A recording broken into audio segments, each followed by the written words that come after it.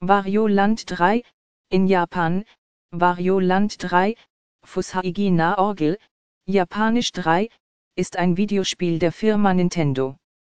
Es ist vom Genre der Action-Adventure, beinhaltet aber auch Elemente eines Jump, N, Run und wurde am 21. März 2000 für den Game Boy Color veröffentlicht.